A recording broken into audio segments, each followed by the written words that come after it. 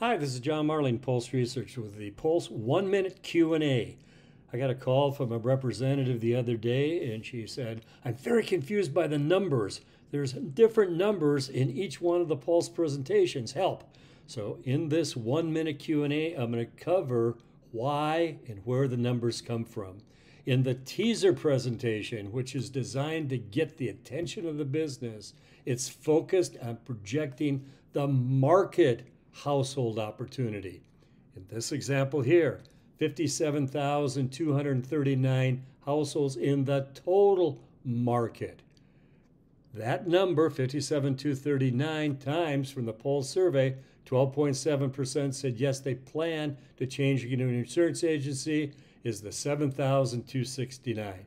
Now, the next presentation that many of you use is the flyer presentation.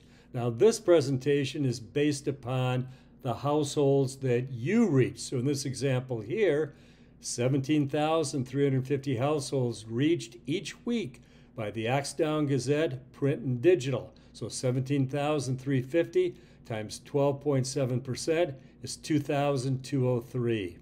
The next presentation is where the business gets involved. So on their phone, they enter their target market, their zip code. So they enter 97005. When they click on the results, the opportunity is 1,505. Where does that number come from? It comes from the number of households in zip code 97005, when this case is 11,850. 11,850 times 12.7% plan to change your insurance agency is 1,505.